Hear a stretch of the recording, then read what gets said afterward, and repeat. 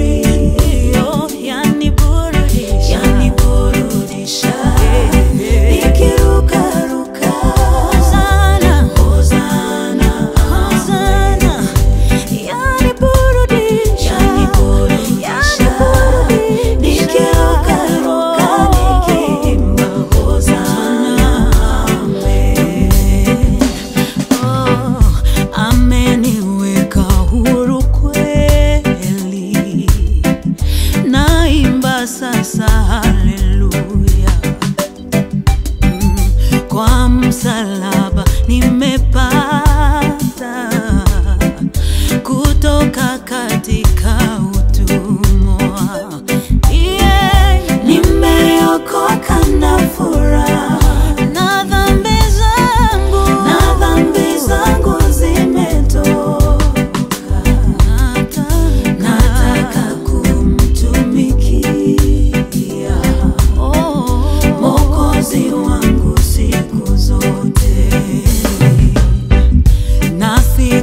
moja nitafika